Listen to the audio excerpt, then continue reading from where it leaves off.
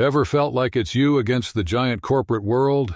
Imagine your family's health and future at stake, all because a powerful company cuts corners. That's the harrowing struggle faced by the residents of Hinkley, California, in the landmark case of Anderson versus Pacific Gas and Electric. Today, we're diving deep to uncover truths and lessons that can empower us all.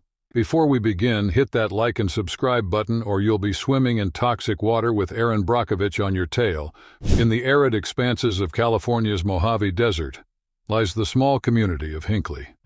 An idyllic rural life, however, overshadowed by a silent predator. For decades, the Pacific Gas and Electric's compressor station had been a fixture here, but its legacy would soon unravel as one of environmental infamy.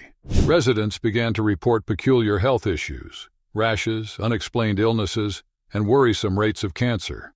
Livestock fell ill, and plants withered, all beneath an invisible shadow. It was here, amidst growing concern, that a powerhouse legal assistant named Erin Brockovich entered the scene, driven by an unwavering sense of justice. Working at a small law firm, Brockovich stumbled upon medical records that hinted at a much larger problem. It wasn't merely a series of unfortunate events, but a pattern. These were symptoms of something sinister, lurking in the very water that sustained the town. Chromium 6, or hexavalent chromium, was discovered, a corrosive and toxic form of chromium. PG&E had been using it to prevent rust in its machinery, and while this was not unusual in itself, the method of disposal was. The wastewater was being placed in unlined ponds, seeping into the groundwater, the same water the residents of Hinkley used for drinking, for cooking, for their very lives. As Erin dug deeper, the evidence mounted in magnitude and horror. Internal documents revealed that PG&E had known about the contamination since the 60s. Not only had they known, but they also attempted to conceal it, offering to buy affected property in exchange for silence. But the people of Hinkley were not to be silenced. In their ailments and distress, they found a voice. A voice that Erin Brockovich amplified through her determined investigations and unyielding resolve. Her findings would not only ignite one of the most significant legal battles against corporate environmental negligence, but would also expose the vulnerable underbelly of a community in crisis. The stage was set for a monumental face-off with PG&E, a battle not just for compensation, but for truth, for health, and for the future of Hinkley. Erin Brockovich's dogged pursuit of justice set in motion a chain of events that would reverberate far beyond this small town's dusty roads. Armed with alarming evidence and a fierce determination, Erin Brockovich and her boss, the tenacious lawyer Ed Masry, set out to confront a corporate giant. They embarked on a David versus Goliath battle, seeking justice for the people of Hinkley. The pair went door to door, gathering harrowing testimonies from afflicted residents. Each account added weight to their cause, weaving a narrative of suffering and corporate malfeasance. Families with sick children, Adults with devastating diagnoses and a community in anguish painted a compelling picture that demanded legal intervention. As the evidence stacked up, Brockovich and Masry filed a class action lawsuit against PG&E. They alleged that the company had knowingly contaminated the groundwater with carcinogenic chromium-6, endangering the health of the entire community. It was a daring move. To take on such an industry titan was fraught with risk and uncertainty. But for Brockovich and Masry, it was a moral imperative. The litigation process was grueling. PG&E wielded its vast resources, deploying an army of attorneys to shield itself from the claims.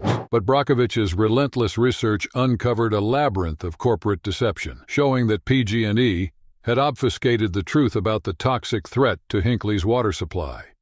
With the lawsuit filed, the case began to gain national attention. Media outlets picked up the story, casting a spotlight on the plight of Hinkley residents and the mounting evidence against PG&E.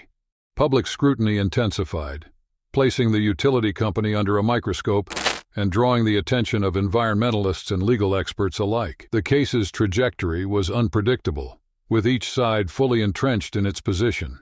Yet at the heart of this legal maelstrom were the people of Hinkley, whose lives had been irrevocably altered, and who now looked to the court system for restitution and acknowledgement of their suffering. As the legal battle unfolded, Erin Brockovich's name became synonymous with environmental advocacy, personifying the fight against corporate indifference. Engulfed in legal strategies and ethical debates, the story of Anderson v. Pacific Gas and Electric was no longer just a lawsuit. It became a symbol of the pursuit of environmental justice and accountability. At the heart of the case were the residents of Hinkley, whose stories revealed the human cost of corporate negligence.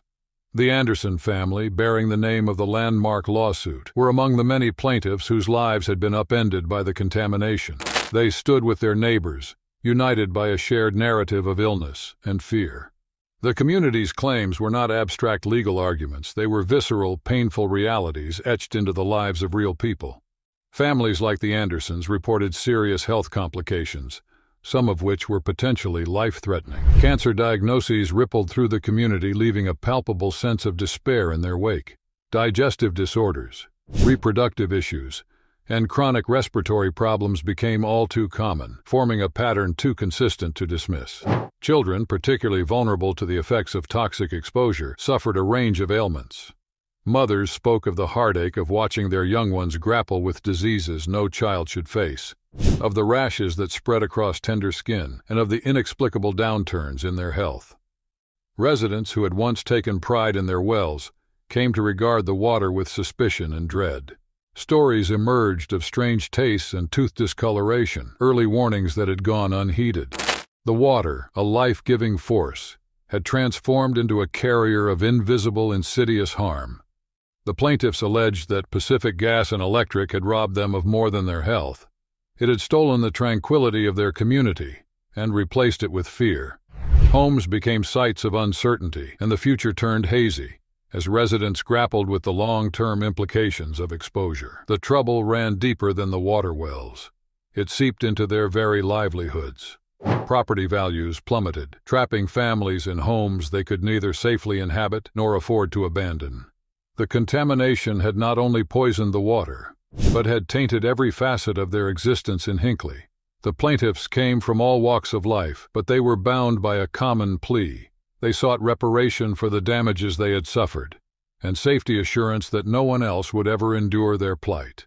The lawsuit they brought forth was not just about financial compensation. It aimed to hold PG&E accountable and to protect future generations from suffering a similar fate. As the residents of Hinkley stood united demanding justice and reparation, Pacific Gas and Electric mounted a defense. The energy giant, facing an onslaught of public opinion and legal pressure, was poised to counter the claims of widespread harm. PG&E did acknowledge a measure of wrongdoing, admitting that the disposal of chromium-contaminated water had not met the requisite standards. This concession, however, was but a sliver of the larger contest. While they conceded to improper disposal practices, PG&E battled fiercely against the extent of harm cited by Hinkley's residents. The company's defense hinged on scientific arguments. They sought to minimize the perceived effects of chromium 6, disputing the direct link between exposure and the health issues plaguing the community. Experts were called upon, reports were referenced, all in the bid to cast doubt on the causation. That the concentration of chromium in the water was not conclusively tied to the ailments reported. Moreover, PG&E contested the notion of widespread negligence. They pointed to protocols that, in their view, had been followed and to the evolving understanding of chromium-6 at the time of disposal. The implication was that any oversight was not intentional, but a product of historical context, a situation not fully understood. The defense narrative was one of a company facing unexpected consequences, grappling with environmental standards that had since evolved. Their legal team worked to compartmentalize the issue, to paint it as isolated incidents, rather than a systemic failing. Despite their efforts, the community's resolve did not waver. As PG&E sought to defend its reputation and financial interests, the people of Hinkley maintained a relentless pursuit of acknowledgement and remedy for the harm that had infiltrated their lives. Each defense put forth by the company only served to deepen the resolve of the plaintiffs, ensuring that the case would continue on its contentious path. Neither side showed signs of receding, with the stakes too high and the wounds too deep to retreat. The courtroom became the battleground for a conflict that transcended legal arguments, striking at the core of corporate responsibility and the safety of an American community. The legal standoff that had drawn national attention was headed towards its denouement. Pacific Gas and Electric, facing mounting pressure and undeniable evidence, came to the decision that would change the course of environmental litigation history.